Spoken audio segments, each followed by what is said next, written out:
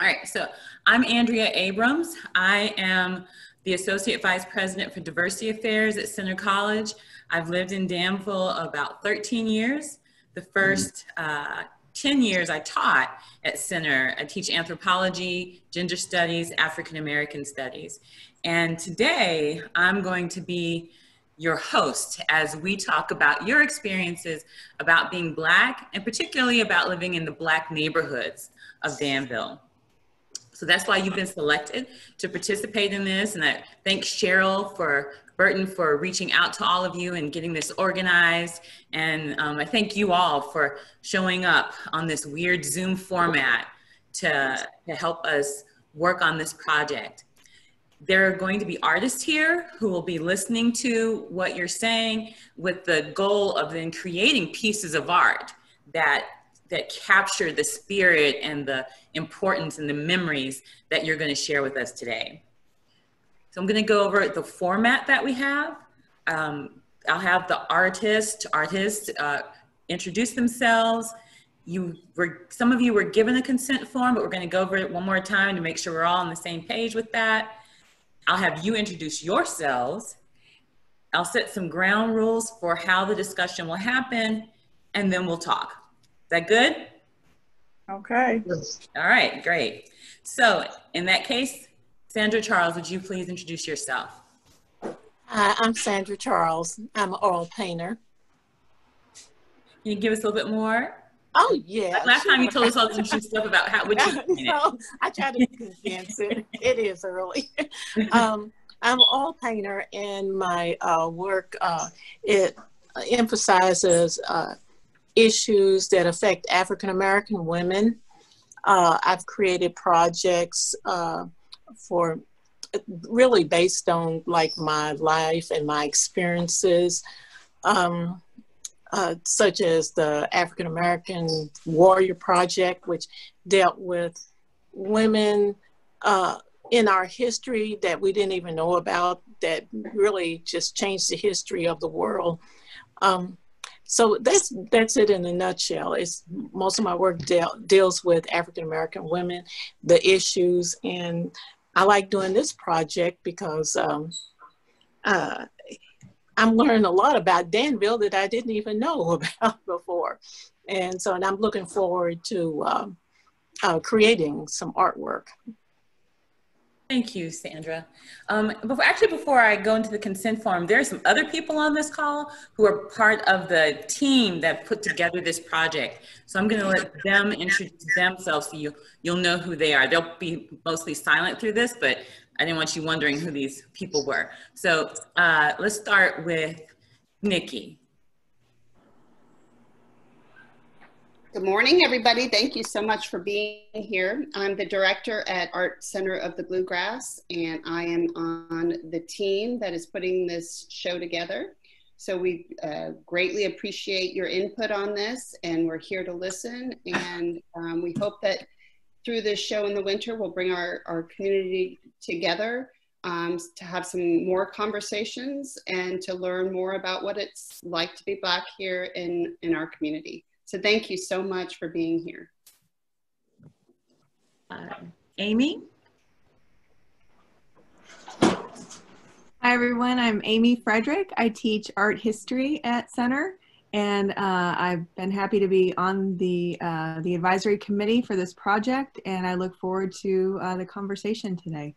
Thank you. Brandon? Hi, I'm Brandon Long. I'm the visual arts director at the Art Center of the Bluegrass, and uh, I'm really excited about this uh, opportunity. I'm really excited to get to meet a lot of you guys. So good to be here. Kate?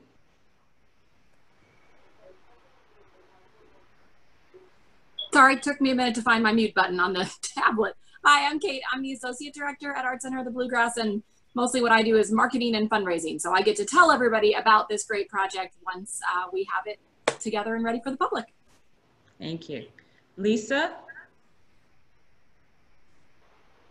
Yeah, I'm, hold on. uh, hi, everybody. I'm Lisa Williams. I don't have my camera set up right here, but um, I'm so happy to be here. I teach at Centre College. I've, I've lived in Danville um, since 2001 and um, excited to be a part of this of this conversation on this um, not a part of the conversation but on the the advisory board here for this project i teach creative writing and so i can get students engaged in this project as well um, if, if we would like that to happen Thank you. Mhm. Mr. Atkins.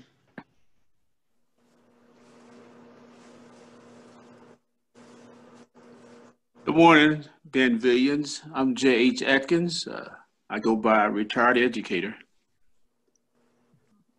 All right, thank you. That's the most succinct I've ever heard you be. Okay, so the purpose of this conversation is that you're being asked to participate in a community conversation hosted by the Arts Center of the Bluegrass. The purpose of this conversation is to hear your thoughts, memories, and experiences of being Black in Danville. The content of that conversation will be used in the creation of an art exhibit that will be on display at the Arts Center of the Bluegrass, both physically and online, from January through March 2021. As a participant of this project, you are asked to take part in a Zoom meeting with a facilitator and other community members. One or more artists will be in the Zoom. The Zoom is being recorded, and the recording may be shared with artists and the public as part of the exhibit. Both your words and your likeness may be visible to the project, to the public. As a participant in this project, there are no foreseeable physical or emotional risk or discomforts to you. If you should at any time feel that your participation would subject you to either physical or emotional risk or discomfort, you are free to remove yourself from the project. There may be no potential benefit to you for participating in this project other than a sense of satisfaction that you have contributed to a better understanding of the Black experience in Danville. There will be no cost to you for participating in the study. Again, your participation is voluntary and you may withdraw at any time. There will be no penalty to you for refusing to participate in any aspect of this project. Your name will be published within the context of the exhibit as a participant in the re- recorded conversation. So at this point, I need everyone to raise your hand if you agree to participate in the project under these conditions. Just physically raise your hand for me. All right, thank you. So we'll get started. Um, so I'll be asking you questions about your experience, but as much as we can, I'd like it to be kind of like it was when we first started. Y'all just talking to each other. You are free to do that, to respond to each other and to have a conversation. The best case scenario is that I just shut up and y'all talk, okay? So that is a good thing. But I will sometimes interrupt you. Um, we have a set of questions we want to get through. Um, in this hour, we want to make sure that everybody has a chance to speak. And so there may be times when what you're saying is really important, um, but in the interest of time, I might raise my finger like this as a symbol, like I need you to wrap it up. And I don't mean to be disrespectful, I just need to keep things moving, okay? Um, um, I also may call on people, even when your hand isn't raised, to make sure that everyone gets a chance to speak. And I don't know how familiar you are with Zoom, but talking over each other can happen. So the best thing to do is before you speak is to raise your hand so people know that you're going to speak next. Is that okay? All right. Um, you are encouraged and invited to be as honest as you can about your own experiences and perspectives, and you're expected to be respectful of other people's experiences and perspectives. So with that, we'll begin. And I'd like to begin by asking you to introduce yourself, to give your name, how long you've lived in Danville, and what Black neighborhood or street you live in or are living in. And let's start with LaFonda. You're on mute. Hello, good morning, everyone. My name is LaFonda Stallworth. I am a native of Danville. I'm a native of Danville and I actually live on 3rd Street here in Danville. All right. Um, Reverend Smith. Okay. Yes, Ralph Smith. Uh, Grew up on Russell Street um, for exception about two years. Uh, lived here in Danville. At the present, I live on Duncan Hill. Um, All right, thank you. it. yes. Uh, Ms. Burton, Martina Burton. Hi, I'm Martina Burton. I moved here in 1982 after I married my husband Bobby, which he was a railroader. I'm a retired nurse and um, I lived on uh, Pontiac Avenue out here in Indian Hills in Danville. Thank you. Ms. Myers. Um, I am a Danville native as well, born and raised here, grew up on Second Street, um, and I currently live in the same neighborhood as Martina. Um, we're kind of neighbors, right, Martina? Right. Yeah. All right. Miss Stanford, Betty Stanford. Yes, my name is Betty Stanford. I was born in Florida, but my mother came to Kentucky, and I've been living in Kentucky practically all my life for 40 some years. Thank you. Um, Tanya. Uh, I'm Tanya Sanders. I was, uh, I am from Danville, been here all my life. I lived on Randolph Hill, uh, Second Street with my grandmother and my, and, uh, McIntyre Homes, and now I live on Seabiscuit. Thank you. Uh, I can only see Rita as the name, so if you can introduce your name, yourself. My name's Lanier Bowman. Uh, I live in West Denver, been here all my life, and we was considered, every child out here was considered as the black kids across the railroad tracks growing up. Thank you. Miss Um, Miss Betty wants to correct something. okay. Yes, I'm sorry. I was thinking about when I lived out in the pike, but uh, first being living in Danville, I lived in Kentucky. I would say 75 years. All right, thank you. Um, so I don't know who this is on Tish's pinky. That would be, that would be me. I have no idea why I, I don't see video, but that's okay. My name, and excuse me, I just had surgery. Um, my name is Tish Walker O'Ray. Uh, born in Danville, lived a little bit of everywhere in Danville, everywhere from Second Street to the projects and every single one of the projects. Uh, now live, um, I've been to and from from Kentucky to Ohio to Detroit to back home and live on the east side of town right now. Thank you. All right, so what we're gonna do first is I'm gonna invite y'all to tell a story. Not a long story, but a good story. And the story I want you to do, tell is to think back um, to what it was like to live um, when you were younger in these black neighborhoods. And what is one of your fondest memories of living in these neighborhoods? Can you share that story with us? Everything. Neighborly. Anybody was poor? Didn't know it? Someone talking?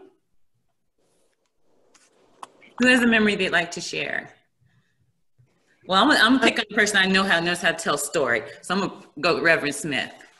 Oh, wow. Okay. I grew up on Russell Street, um, which was a, a very close neighborhood. Um, very fond memories. It was a, a street where, you know, we grew up. We Russell Street has a hill, so in winter time we always, you know, sled down the hill. We we would skate, uh, homemade skateboards we would start from Carter Street, go all the way down to Russell Street. Um, Russell Street was a, a place where um, people was at that time was funny about their their yards. Uh, I can remember one instance where um, one of my puppies, I had a puppy that that that got loose. It went down about two doors, and the lady that lived there, I'm not, not going to call their names, but they didn't like animals, dogs, and I went to get my dog, and she had had threw hot water on my pup and literally killed it. Oh. Um, I can I do remember that. Uh, I remember one time uh, riding my bike down the street, and the lady that lived next door was backing out. She hit me and knocked me into a telephone pole, and got out and asked me, "Did you, did you see me backing out of my car?" you know, those memories, fun memories. Uh, but it was a, a, a, a good street um, that I grew up on. Thank Very you. fun memories, yeah. Any other memories? Yes, Miss Burke, Miss Manfred. Yes, I can remember uh, when we lived on Fourth Street. When we lived on Fourth Street, it was several homes and things down there. And my mother, she lived right where Lee's famous recipe at. Wow. Circles across the street. We didn't have the money to go to the circle. But when nighttime come, we would slide down that hill and got in free. then, going after all of that, when all that was over, she'll send us to pick some blackberries. We would cross the uh, the railroad track back there, and we enjoyed that. And I was always afraid of snakes and things. And when I saw one, I would run. When I got home, I didn't have no berries in my bucket, but she sent me right back across the railroad because we done run all the berries and jumped out. Then my husband, he worked at at uh, Bun Boy, uh, Henry Fisher at that particular time. At that time, you couldn't go in the front door. You had to always go in the back door. And I'll never forget that. But then I can truly say we made it though. It wasn't like we gave up.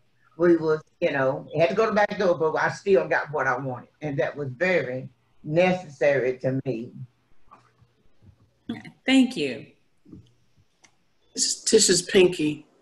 Um, I think my favorite memories were always the projects when you didn't know that you were basically poor until someone told you from the government because you stood in line and got that cheese. That cheese in that box was um, amazing. It was a brick hard cheese, but Amen. amen.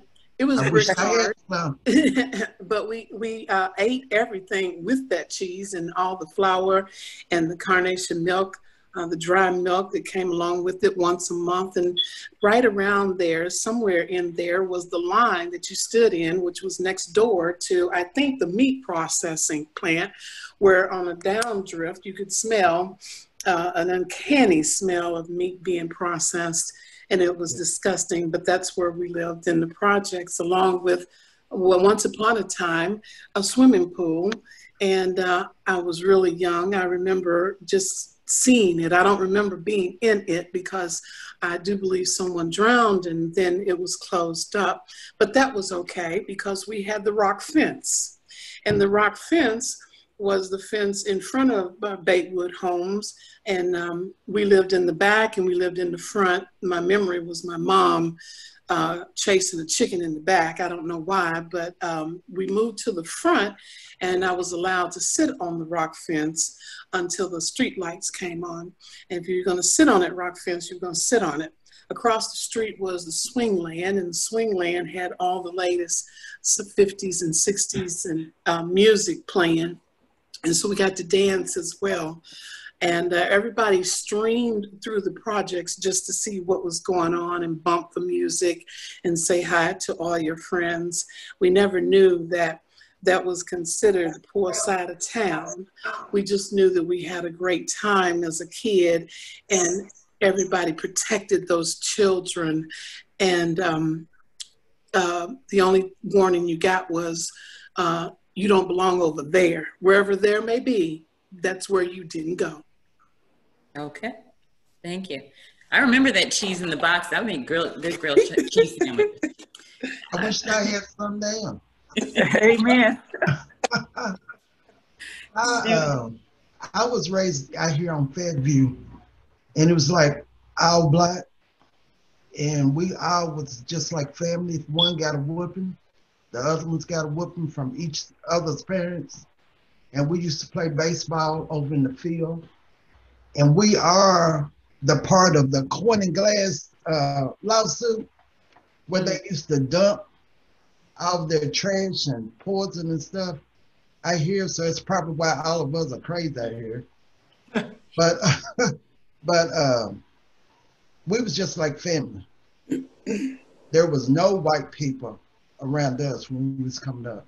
And I can remember going to the Bun Boy and going through the back door.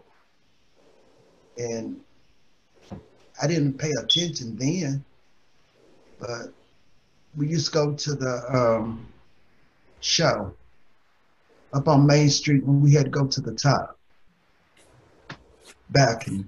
We couldn't go at the bottom. But my, I don't really remember so much racism when I was coming up. It's after I got older. I guess I just, we just didn't pay attention. Yeah. But this is a racist town. Why do you say that? Well, I have, I have put, I got a bachelor's degree, and I'm not trying to say it to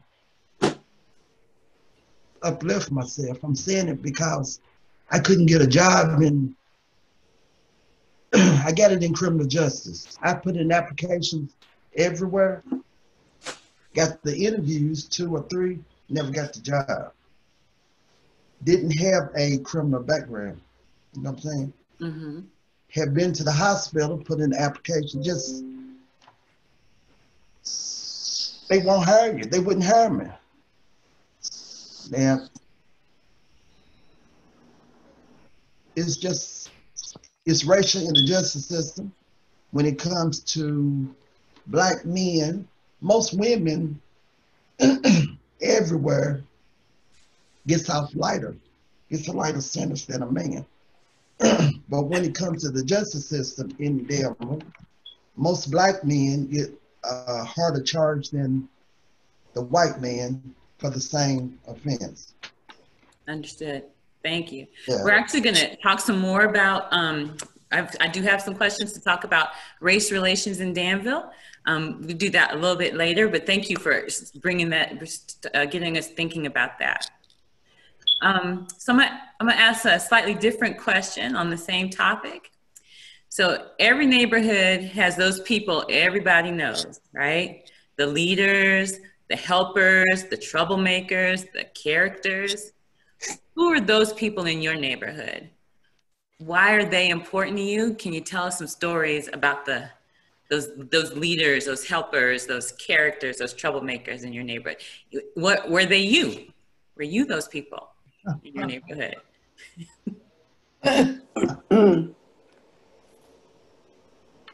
in my neighborhood growing up, I grew up on Duncan Hill. Um, had a really good childhood on Duncan Hill. Um, some very fond memories. And to go back with what Tisha Ray Pinky was saying earlier about the commodities, I remember my mother gathering all five of us up and we walked to the to Second Street, just really the corner from us with a red wagon and Mm. we go in there and get our commodities and come back home. This was the norm for us. This was the norm. And um, then we just uh, lived a couple of doors down from the cemetery, the Hilldale Cemetery. And every time they would cut their grass, uh, the kids in the neighborhood, we would go up there and um, really kind of play hide and seek where we would bury ourselves underneath the grass and uh, whoever was it had to find everyone. So um, we just had lots of fun, and I can remember um, H. Gillespie um, and Buck Owsley and different ones riding their horses um, down the street, and me and my brothers chasing after them. Um, those were very, very, very fond memories. And I, I don't remember any bad people um, in our neighborhood. Everybody was good, and that was the days when we were using coals to heat our homes. And I remember trying to go from the kitchen to the living room um, with my eyes closed and ran into the stove. I still have that scar today. and a neighbor down the street named Big Meat um, he actually put salve on my arms. Um, Big league. and so, you know, everybody just kind of nurtured everyone in in my community or well on the street on Duncan Hill Street back in those days, and that was probably the early 70s. Thank you. You're welcome. Tanya. Uh, I was uh, raised on Randolph Hill, and like all of they talking about the commodities and the cheese and the spam. I remember all of that, and we had older people Mm-hmm. like uh, Miss Henrietta, Miss Maggie Bell. Those older people, they would have you do work for them, and like one would give you a cupcake, one would give you a nickel, but you always had respect for these older people. And I enjoyed the first of every month because you know everybody was poor, everybody got new shoes. So we would all race up and down the hill, see who could run the fastest of getting these shoes from the dollar store. Uh, all the kids, we you know, we would play, we would fight, we would still get along. Um, I remember going to when we went to Bate, it was like all black, and I didn't had never been around a lot of white people until we had to switch schools. So that was uh, an experience for me. Is going from all black to mixed, you know, all us together. And when we went to our black school, we had the most respect for those teachers. You know, you didn't talk back. They didn't mind uh, whipping you or spanking you. We had one that used a whip, Miss Jones. I know Ralph, y'all probably remember Miss Jones. Uh, Miss uh, Yeah. Dale, she had a ruler she would hit you with. Uh, Miss Margaret, she was our first grade teacher. Everybody loved her. She would put you over her lap and spank you. Um, but those days, I wish they was like that now because we had respect for the older people and we respected it was yes ma'am, no ma'am, please and thank you. And you just don't see that anymore. And I think that starts at home anyway. Uh, my child is 38 years old and now when I call her by her name, she says ma'am.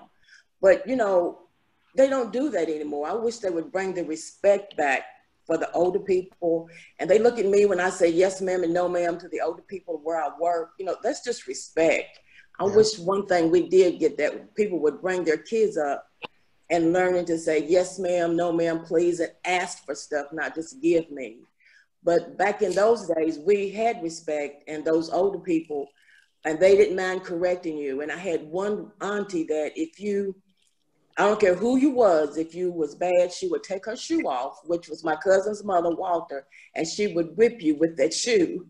So anybody was with her, they knew that you was going to be on your best behavior. Thank you. So let's talk about some events um, that happen in the neighborhood or with the folks from the neighborhood. So I'm thinking now about block parties, dances, weddings, birthday parties, graduations, fights, funerals. Um, what were some of your sweet, whether sweet or sad, what are your strongest memories of the neighborhood and your neighbors?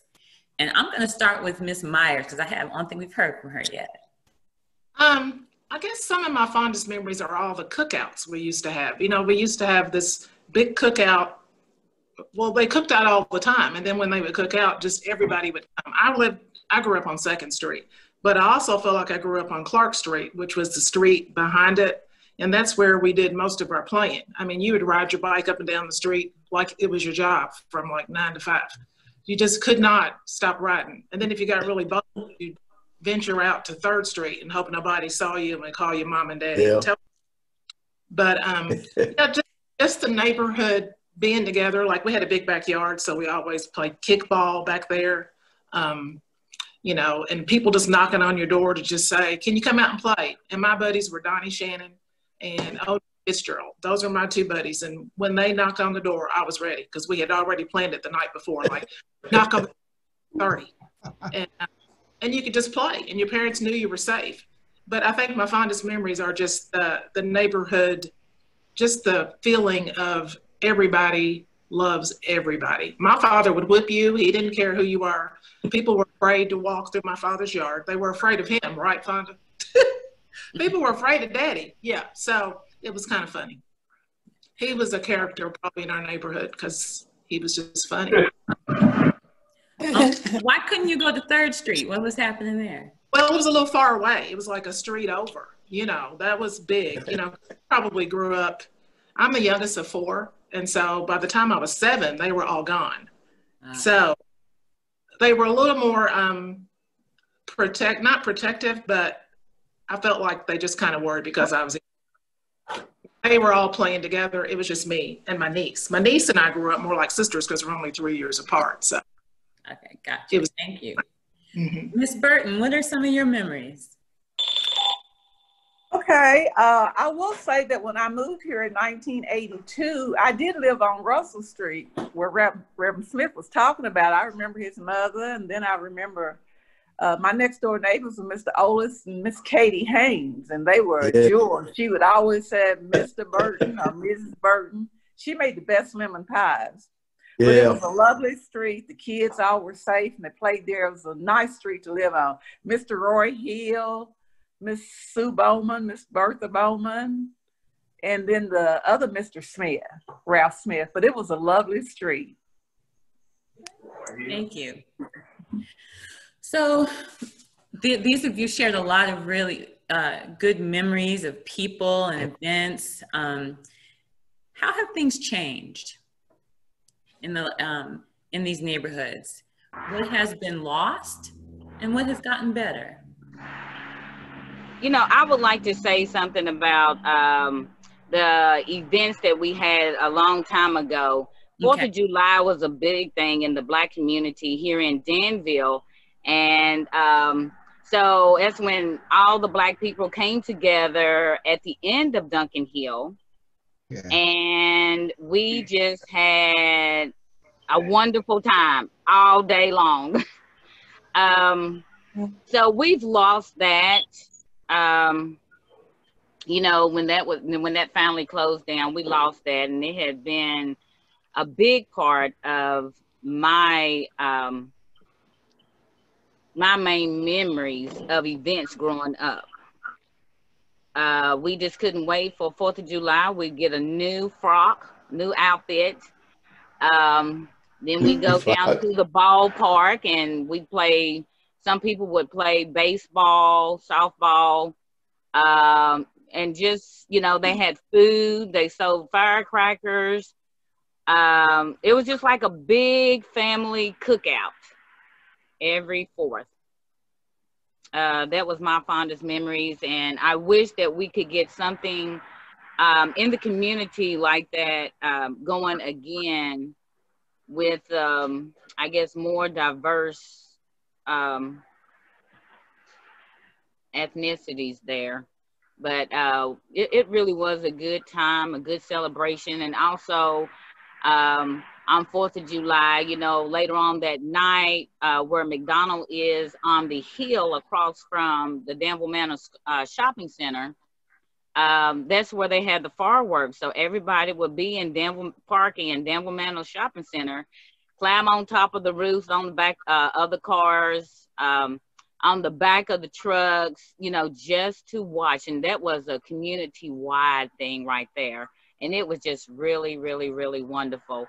And um, I guess we still have that, but I guess location just kind of changed uh, the dynamics of that day for me. Yes, Ms. Sanford. Yes, I enjoyed all the comments, but still, I thank God for my life tonight, today. And I look back over my life as we was raised on the poorest, as someone said a while ago, nobody knew they was poor because everybody was poor and from house to house. This one was saying for a cup of butter. That one saying for a cup of sugar. They shared all of these things together. It wasn't about they talked about it. When you eat at one place, you eat at the other place. When one gets bad, talks about a whooping. I mean, you get whooping things that you didn't even do. The older people, the older people say you done it. Believe me, you done it. Yeah. Many whooping for I hate to say it, some of those old people didn't tell the truth on me, but respect them though, because I know if I disrespect them, I would got another whooping at home. And I like that, and going from the rough side of the mountain, going behind stores as we had to go to get food and stuff. I can truly say God has brought me from a mighty long way. Amen. Thank him for that. Could have been poison or anything. Mama would rinse this off and, and cut this off, uh, apple. I never had an apple to take to my school teacher like some of them did. I mean, I was even denied from some of the blacks in school. People don't want to give credit, but blacks ain't always been where they are today either. That's right. Never going to school, I wanted to go down there to Frankfort. The teacher denied me because I didn't have the money. My mother didn't have the money like a lot of, I done good to get a half of an apple without taking a teacher an apple. And when you take a teacher apple, they praise those children for bringing, but we didn't have it like that. We didn't have it at all. But I thank God for what where I am today that He has brought me from a mighty long way, and that I enjoy helping others because I say today, if somebody hadn't helped me, I wouldn't be where I'm at today. And we love everybody. Everybody would do their own thing. Mama would tell us, stay behind the fence. If you go out behind the fence, when you, she goes to the grocery store, Lord, you got a whooping when she comes home because those older people gonna tell her. They didn't deny nothing. But I enjoyed talking to um, Mary Joyce and Bodie them over the fence. I mean, I really enjoyed that. But then when mama come home, if you've been good, you got four animal cookies. I don't know if y'all know what animal cookies are, but that's what you got for your drink. Four animal cookies. And I enjoy it. I look at the animal cookies today I still like animal cookies, but that's where the Lord is. I love them. But I thank God what I did go through. Sometimes you have to go through the storm to get things done. That's just that's my story. And one more thing I'd like to say. I know you're gonna but I would like to say up on Second Street. I we had my uncle. A lot of people don't know this, and and I never corrected nobody on what they do. But on 7th Street, my uncle, his name is L.D. Parker, he's the one that owned the cab stand. Oh. And he sold it to the oh. He sold it to the and it was in 1943 when he got it. And the name of the cab stand was Yo Cab. Yo Cab, that was the name of it.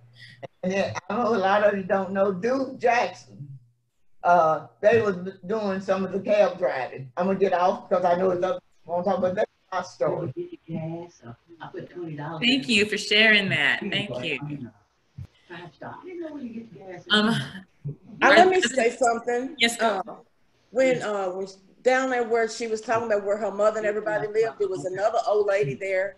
And we used to, you know how y'all would say, swing the chicken to the head come off. Oh. We would sit there and watch her till she would swing that tick that chicken's head, and when the chicken's head came off, it would just jump around.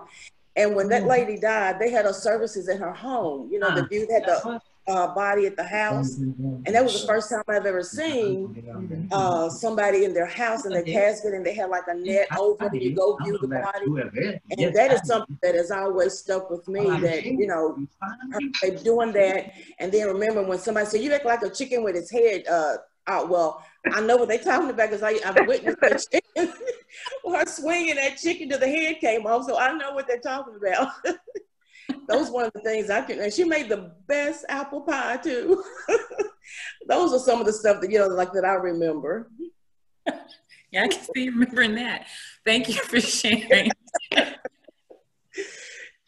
right, so I, I want to um, kind of shift the conversation a little bit here to talk some about, um, to go back to this conversation about race and and, and the, being black in Danville. And the way I, I think I want to go about it is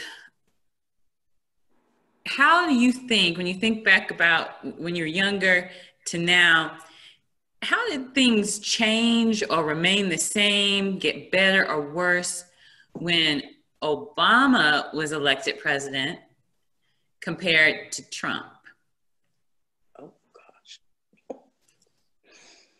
Hmm.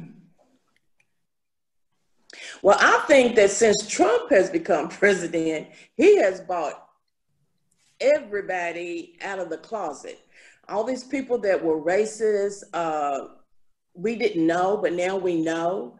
And then when they do and say things, and then when you call them out on it, then we're the bad person.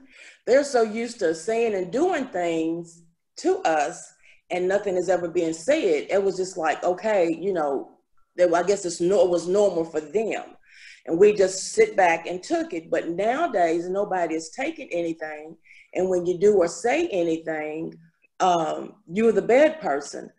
And that's one of the things I just don't, you know, Trump has bought a lot of people that some people I wouldn't even didn't even think of that are racist and prejudiced.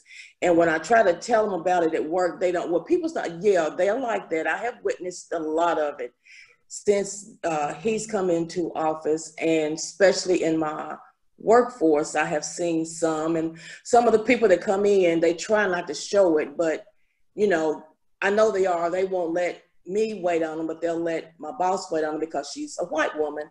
Uh, but I, I just don't like it. And with Obama, everybody want to blame everything that went with Obama. You know, anything he did good, they want to bring him down, talk about him. They want to blame everything on Obama. But I liked it when he was in office, but now I hope and pray that everybody gets out and vote and vote that Trump out. Okay.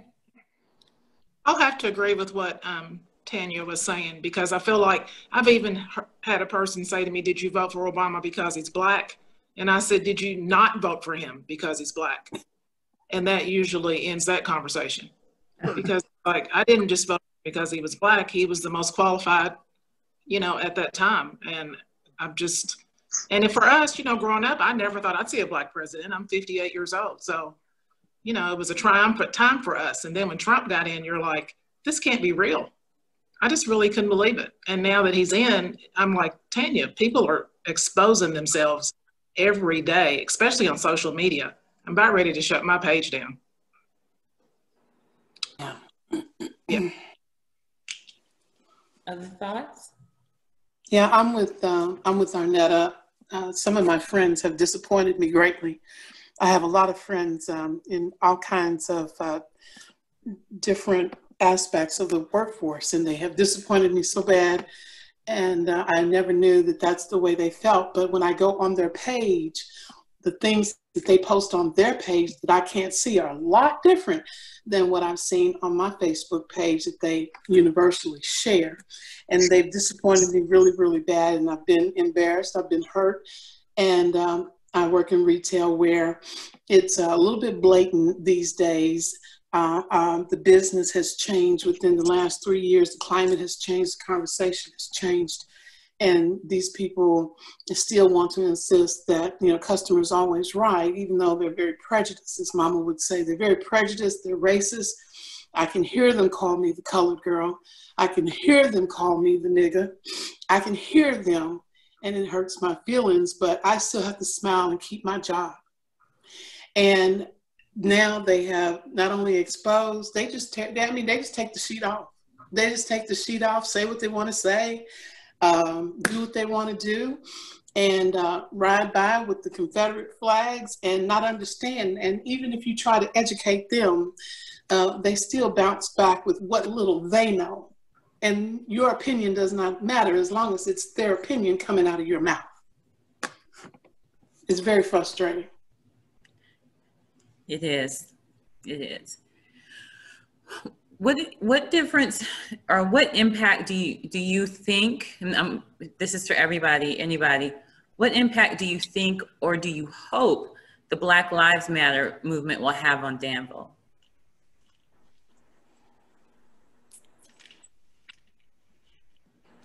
That's a tough one.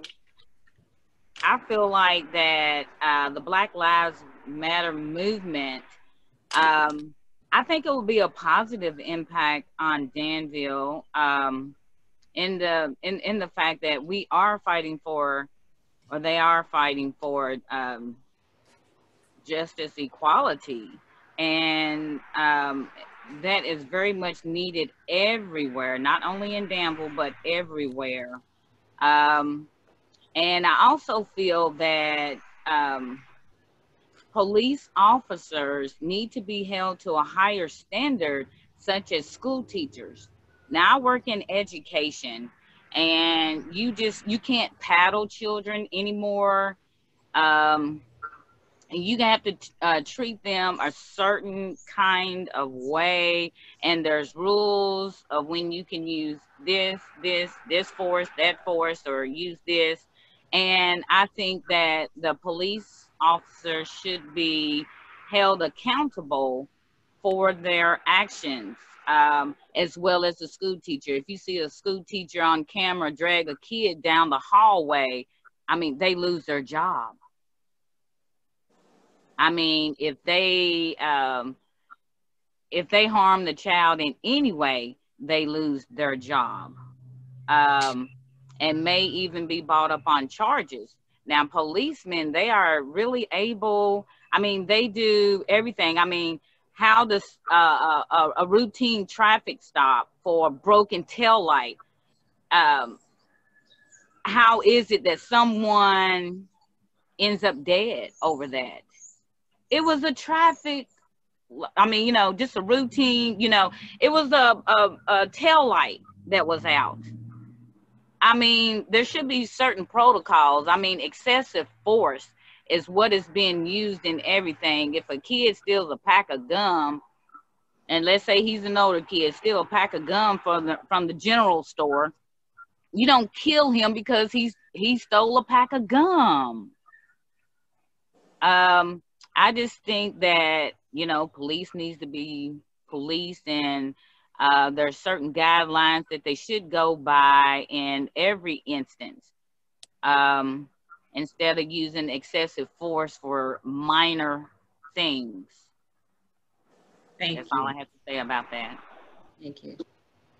I'd like to see, you know, more diversity on councils and boards and committees, um, more you know, more just more black people downtown Danville. You know, when you go in a bank or a store or the hospital. I work at the hospital, so I'd love to see you know more, you know, nurse practitioners and PAs and physicians and you know, because I would love to have a doctor that looks like me sometimes or a nurse that looks like me.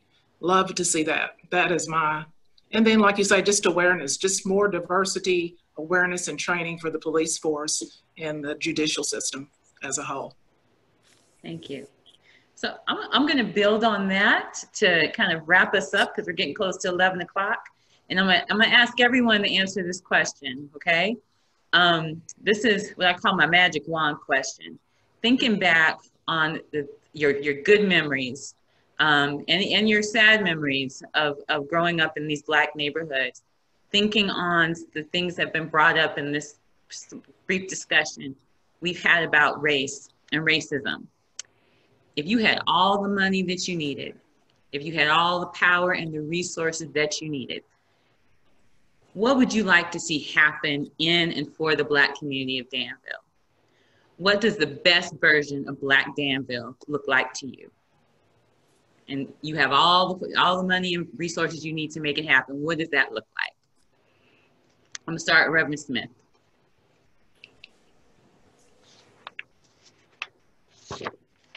I knew I was coming first. Um, if we could all come to, together in unity, learn how to love each other, learn how to work together, and I think that would be the key is, is you know unity, all together, learn how to be one with each other. And I think love goes a long way. Thank you. Miss Stanford? I think love has a lot to do with anything you go at. If you don't put love in it, you don't have nothing at all. And I think if I had a lot of money, I would like to see more black industrial, more black churches, more black schools. I would love to see that. And having all the money in the world, what money would do any good if you don't have your help? And I would love to be able to help somebody else because I see somebody help me. And nothing wrong. I get joy when I'm helping somebody less fortunate than I am. Thank you. Ms. Myers? Um, well, since you said how much money, I would love to see like more black-owned businesses, you know, um, just even when you go in stores, just more, more things that, I don't know how to put this, but um, just, I guess, different types of things in stores that are more appealing to the black person and what that is, I can't just say one thing, but just um, like a museum, um, you know, more art in stores that, you know, that look like people like me. Um, you know, like I said earlier, physicians, nurses, just more people like me when I go out and about the town. Because I know there's only like 1,600 of us in this town. So it would be nice just to see more of us and have opportunities here that would make the young professionals that have left Danville want to come back. Ms. Burton? I would like to see more programs for the youth and more mentors. You know, like I remember when I first come to Danville, I, I didn't mention Mrs. Helen Fisher Fry, but back then they had two black women's clubs, the domestic economy and the busy sunshine. Reverend Smith's mother was part of that. But they taught us young women how to entertain at home. We traveled across the state. We learned a lot of things. And I think the young women, then the, the clubs sort of faded out, but I think, you know, it would help the young women because the older women taught us. And, Yeah. you know, that was just, it was something, it was more things. We did, you know, did stuff for the community and all, but then it got to where just like our sororities and everything, missionary meetings, everything is fading out. Nobody has time. And the young women are not going to do what we old women did. They're not just going to do it. You know, it's just times have changed and everything's busy, but that's my intake on it. Thank you. Ms. Bowman? You're, you're on mute. I would say, as Arnetta said, like more, you know, like a soul food restaurant, um, a black owned store, maybe three or four of them. You know what I'm saying? We just don't have, um, we can't get the money to open a store like the Arabians and you know, I, I went to the store down on uh, 4th Street one day and I asked the guy, I don't know if he's from Pakistan or where, but I asked him, how do y'all come here and open all these stores? And he said, well, all you have to do is go to the bank. Well, I done been to the bank and I couldn't even get a washing machine. so I'm saying mm-hmm. we need some, we need some black owned stores around here. There's hardly nothing black but a, what car wash and funeral home. Ms. Burton, you have your hand up? Yes, I think we, one thing about the other cultures, I've worked with Indians and different things, they band together. It may be four or five families in one home. Right. But we as black people, we don't support each other as much as we should. We probably wouldn't buy from going to the black stores now. We're gonna take our money and go somewhere else.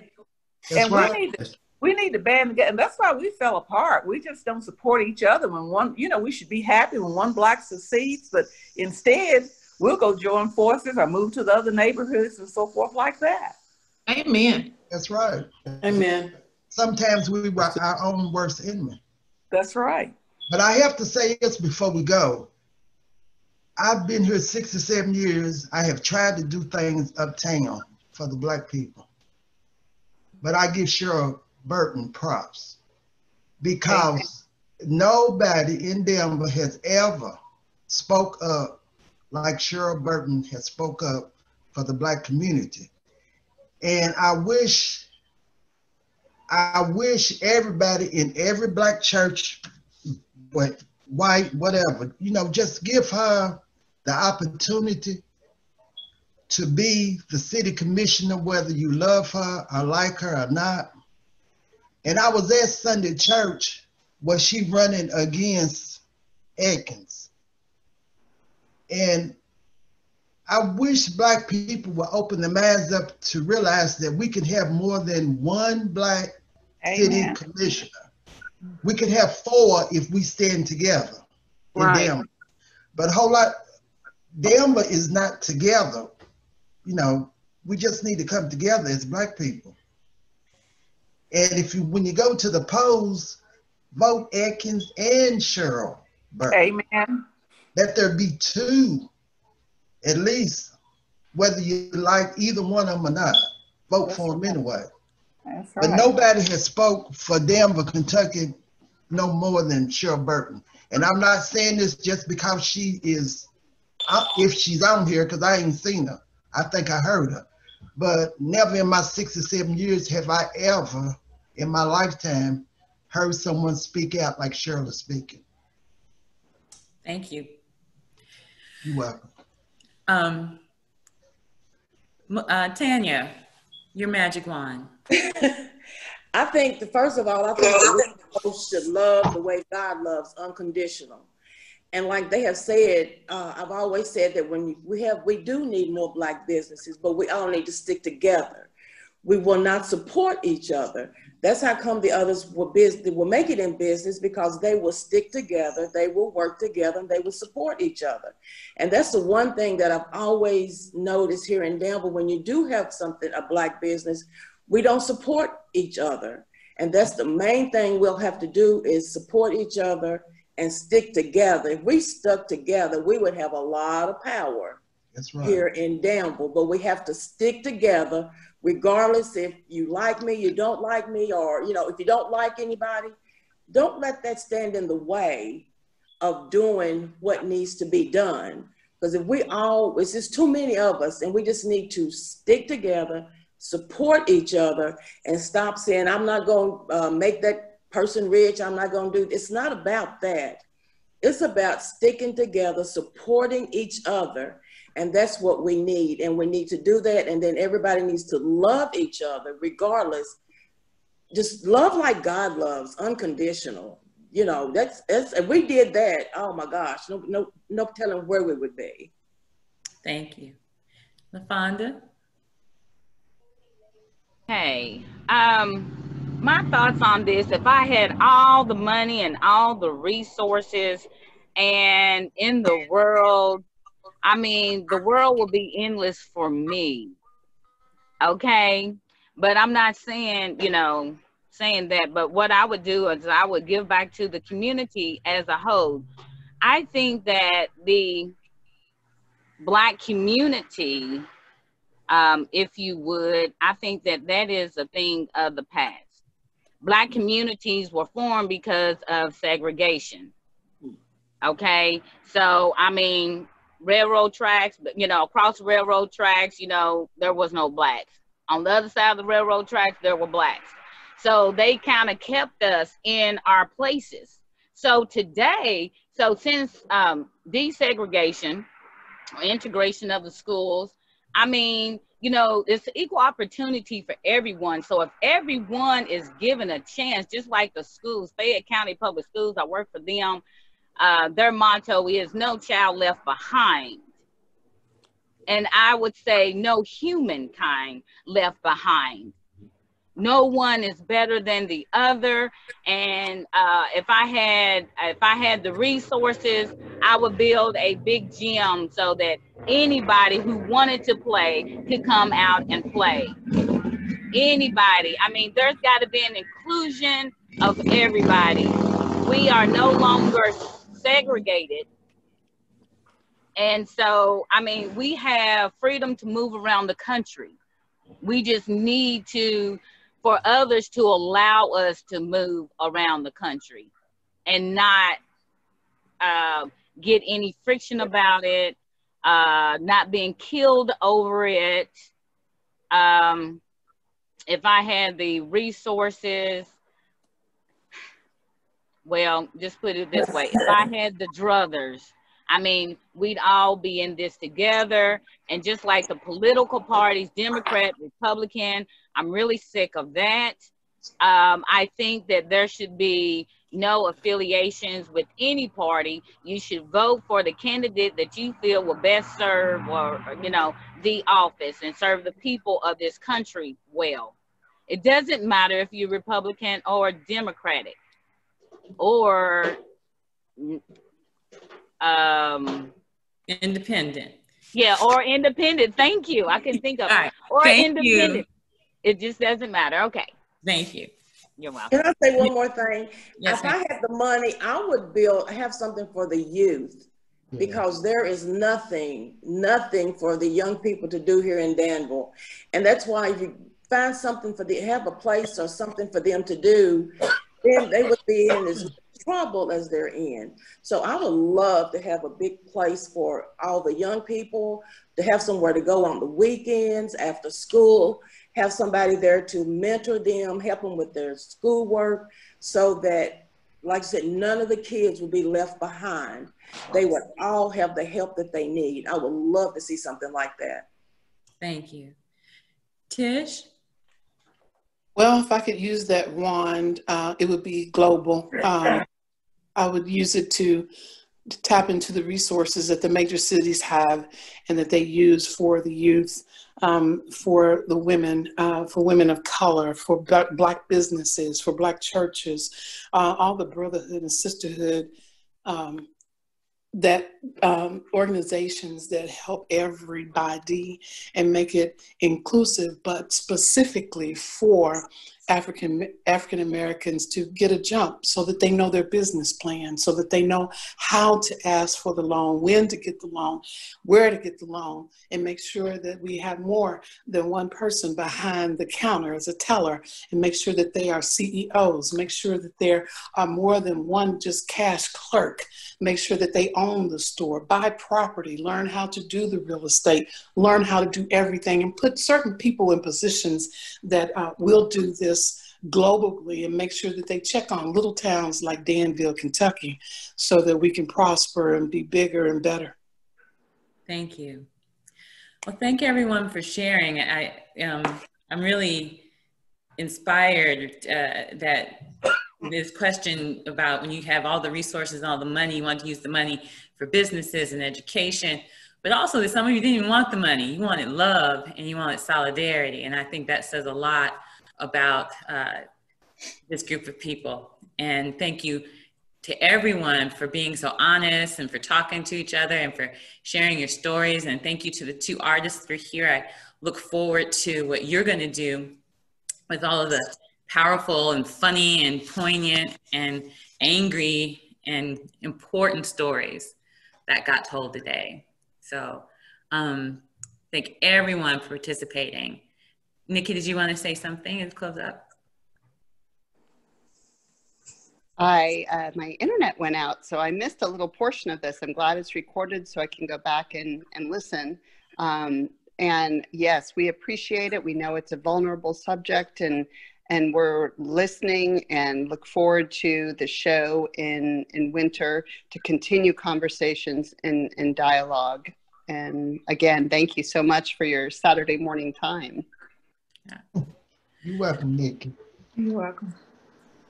All right. Well, that that's all. of all hearts and minds are clear, say in the church, um, I'll let y'all go and enjoy the rest of your Saturday morning.